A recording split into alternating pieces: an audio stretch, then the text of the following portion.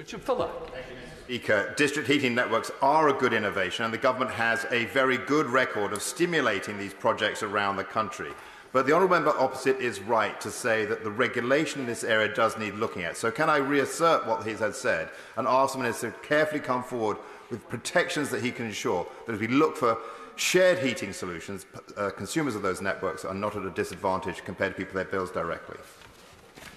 I'm very pleased to give that assurance to my uh, honourable friend. As I said, we are talking to Ofgem right now about introducing regulations to make it much fairer and indeed simpler, and indeed to ensure that consumers who are on heat networks get the service that they in fact deserve.